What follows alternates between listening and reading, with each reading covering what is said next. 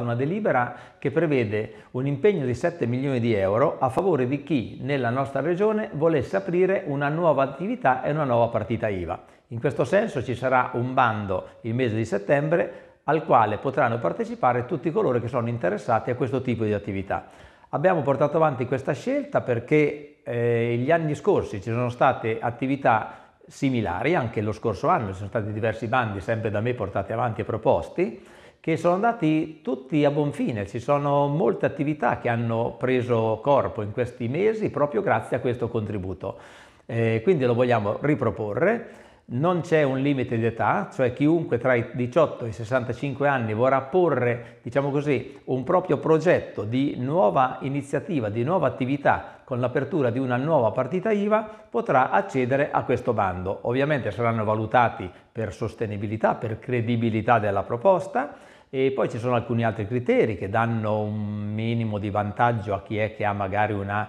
eh, disabilità o a chi eh, risiede nell'entroterra, nei cosiddetti borghi storici, in modo da incentivare anche proprio le attività eh, nei luoghi meno abitati, più lontano dalle città. E la novità di quest'anno è che apriamo questo bando anche a chi è residente all'estero ma è marchigiano iscritto all'AIRE, cioè è ancora, diciamo così, cittadino anche della nostra regione, in modo da stimolare anche magari qualche rientro di nostri concittadini che qualche anno fa magari sono recati all'estero per questioni di lavoro e oggi sono interessati ad aprire una propria partita IVA. Il contributo eh, di fatto è previsto in 20.000 euro eh, per coloro che, ripeto, si aggiudicheranno questo bando con una proposta credibile e sostenibile e poi chiaramente dovranno dimostrare che con questi 20.000 euro hanno sì portato avanti una loro attività che dopo alcuni periodi, i primi due anni, siano ancora in auge ovviamente, non possono iniziare e poi chiudersi. È una bella iniziativa che verrà riproposta quindi anche quest'anno sulla scorta del buon andamento degli anni passati.